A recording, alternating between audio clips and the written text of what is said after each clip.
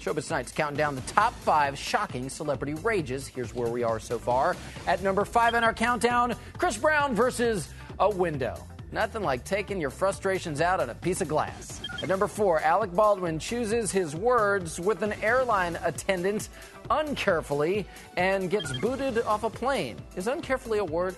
Number three, Christian Bale, who takes out his rage on a member of his movie crew, and that brings us to number two on the Showbiz Countdown, shocking celebrity rages. Oh, how could we forget supermodel Naomi Campbell? She's a repeat rage offender.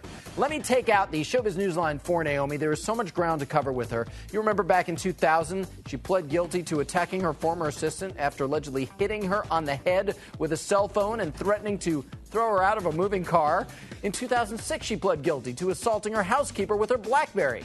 It was 2007 when Naomi was sentenced to community service after she admitted to swearing, kicking, and spitting at police officers aboard a British Airways flight.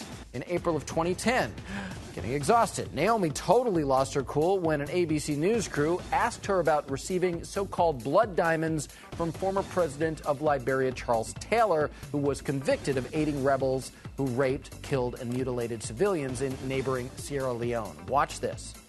Received a diamond from I didn't Charles. receive a diamond, and I'm not going to speak about that. Thank you very much.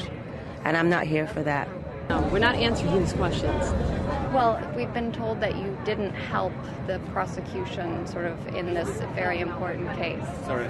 Thank you so much. Sorry. Goodbye. Sorry. Let's get up.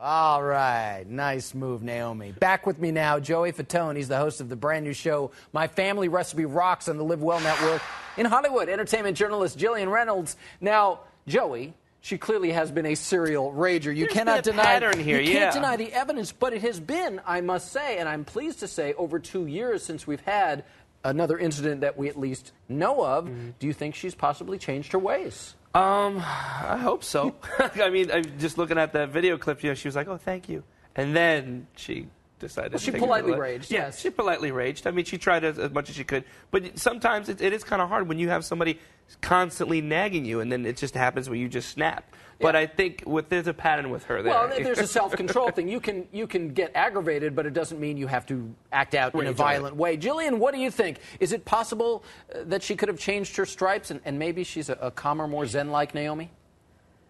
Oh, of course. I mean, I, I don't know if you guys remember a few years back, she was with Tyra, and Tyra Banks called her out and said, You were really brutal to me, you were mean to me. And, and Amy was like, I'm so sorry. Um, of course, people, we tend to think that it's like the intense actors that blow out, but I remember hearing um, Casey Kasem was doing like a rundown, and he freaked out, and Bill O'Reilly and Naomi Campbell. This all caught on tape. And you, for me, I love being a fly on the wall and seeing it. I don't necessarily think it's fun to be on the receiving end of it No. if they're throwing cell phones and things, but I think everyone can change. And, you know, especially something like that, that's heavy Yeah. duty. That was like people's lives. There was Sierra Leone, I mean, that was like civil war. They were killing children, and that, that's a heavy duty subject.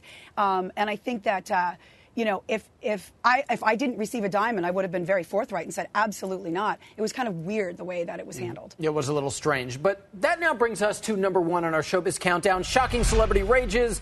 Got to give that honor to Mel Gibson because also a serial rager. Many meltdowns caught on tape. Back in 2010, Radar Online posted a series of downright explosive recordings of a man who sounded an awful lot like Mel, saying the most horrific things to his ex-girlfriend Oksana Grigorieva. get sick. You f- me up. You have f- me up. You have f- me up. You f- me up. Did nothing but help you, and you f***ing shit on me like a low life. Uh, yeah, it was actually pretty tough for us to choose which clip to play from the minutes upon minutes we had to choose from. Joey, do you think that Mel's image has ever recovered from that? Personally, I don't. I don't think it has. Yeah, I don't think it has at all. I mean, just just from the, the mishaps and so much things that have been recorded that he has done and said, and you have seen. It's it's a, it's a tough thing to get out of because people always remember that. You know, people remember these kind of things, these slip ups, and I think for him, it's just it's going to be a hard thing to recover. You- You're a good guy. I know you to be a good guy. I We've try. kind of known each other for years, but still, you're very conscious of the fact that when you're being recorded, have a microphone on, or you're on the phone, you're careful with what you say. Yeah, I mean, you, you just want to, you know, just get respect as much as you have from somebody else. I mean, even so, some people are going to piss you off or get really mad, and you just got to hone it down and just say, you know what? I'm not going to answer that. This is the deal. Yeah. You know, I mean, I might get mad right now. Well- I might start yelling, Yeah, screaming. don't do you that. just start putting my fist down, getting mad. But I have to tell you, when you- you ask me these questions.